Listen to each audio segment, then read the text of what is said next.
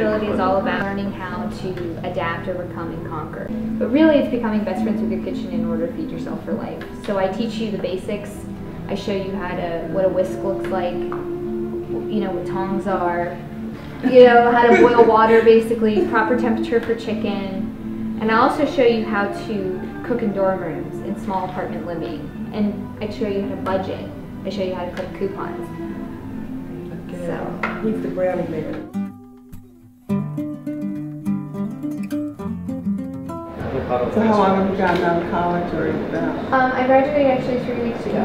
Oh, congratulations.